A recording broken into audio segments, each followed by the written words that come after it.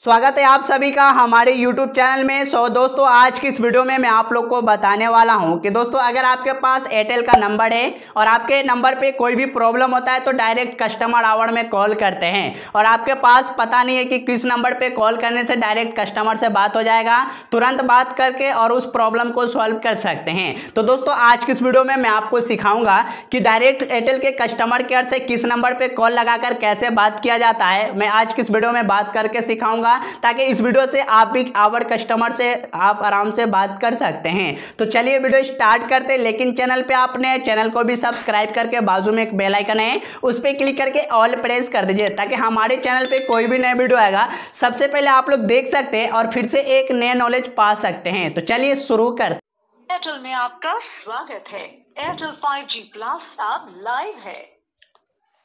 Prepaid मुख्य सूची के लिए आठ दबाएँ।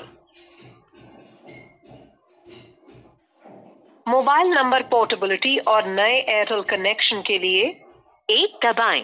अपने नंबर रिचार्ज करने के लिए दो दबाएँ। आईवीआर भाषा बदलने के लिए तीन दबाएँ। नजदीकी एयरटेल स्टोर की जानकारी के लिए चार दबाएँ। दोबारा सुनने के लिए शून्य दबाएँ। पिछली सूची के लिए सात दबाएँ। मुख्य सूची के लिए आठ दबाएँ।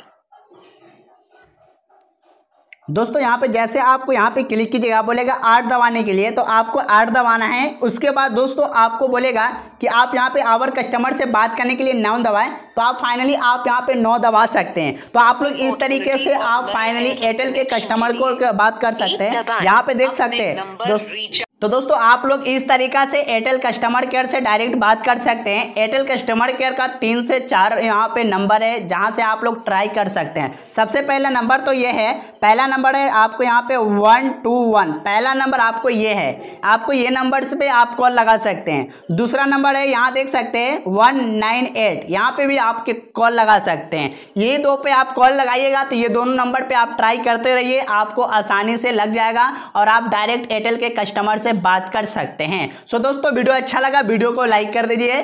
चैनल पर आपने चैनल को भी सब्सक्राइब कर दीजिए। आने वाले वीडियो सबसे पहले आप लोग देख सकते हैं। Thank you